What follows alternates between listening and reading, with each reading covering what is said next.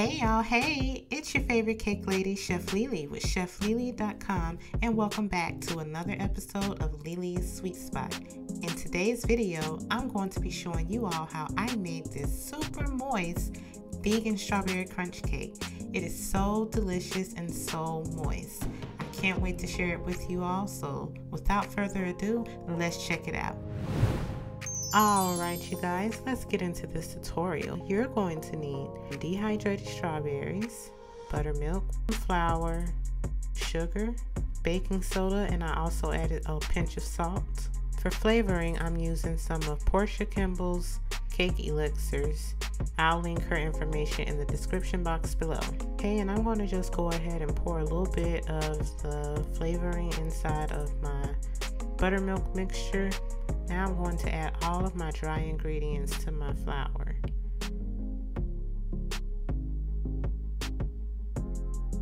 Okay, and give it a good whisk so you can kind of sift the ingredients together.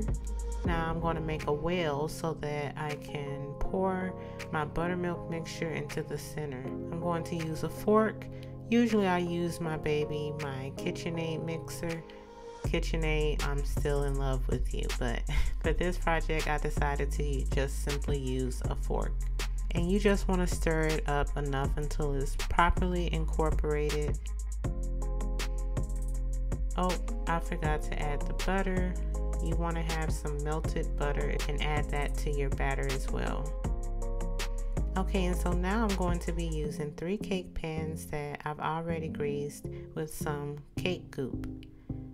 We're going to pour our batter into our pans.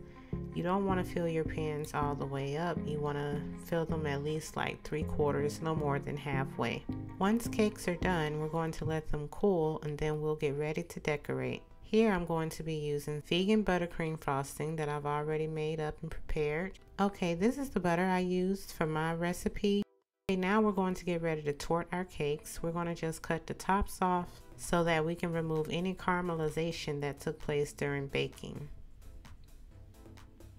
And you're going to just cut around the edges and continue cutting until you reach the center.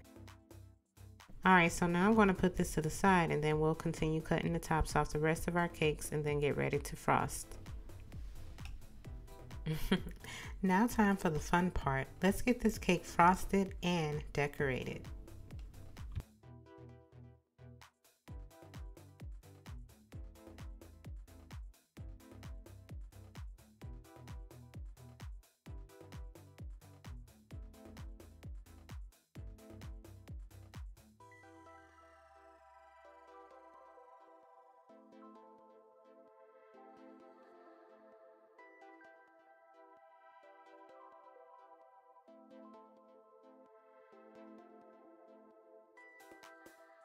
Now it's time for the second fun part. We're about to put our strawberry crumble on top of our cake and all over the cake. For this, I simply just use some more dehydrated strawberries and I also use some of the golden flavored Oreo cookies. Simply just process it in a food processor and there you go. Now when you add your strawberry crumble, you want to simply add it and pack it into the cake and put it all around the cake and all on top. But make sure you have a really good grip on your cake because you do not want to drop your cake. Ooh. Okay, so now let's add a few finishing touches to our cake. Here I'm just going to pipe a pretty little design on top.